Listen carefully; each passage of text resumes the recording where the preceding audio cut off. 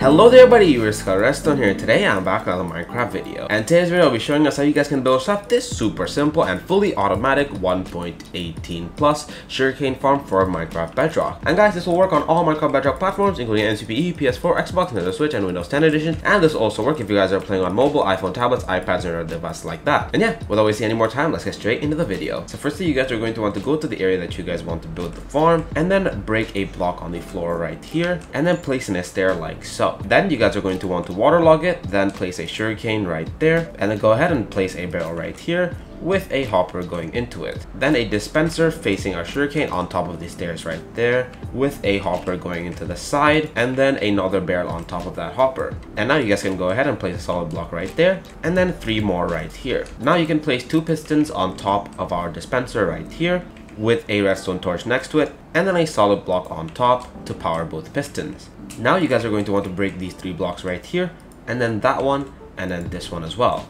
So under our redstone torch, you guys are going to want to place a piece of redstone dust, and then on the other side, place a redstone torch. Then go ahead and place a solid block on top of that, and then a redstone repeater right here. And as you guys can see, this should make a super fast redstone clock.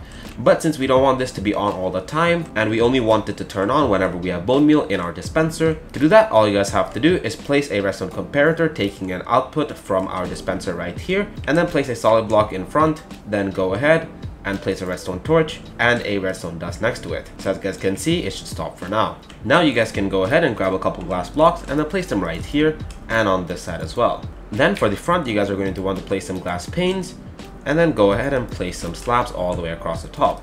And this should be the farm completed. Now all you guys have to do to use the farm is grab yourself some bone meal and then go into our second barrel right here and then fill it up with as much bone meal as you'd like and just wait and see all the sugarcane get collected. So as you guys can see, we already have a whole bunch of sugarcane right here.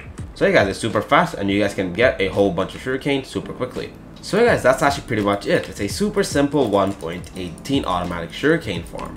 So yeah guys, if you guys enjoy these kind of straightforward videos, please don't forget to leave a like and will help out channel and it also helps me a lot to me. So you guys, thank you guys so much for watching. See you guys next one. Peace.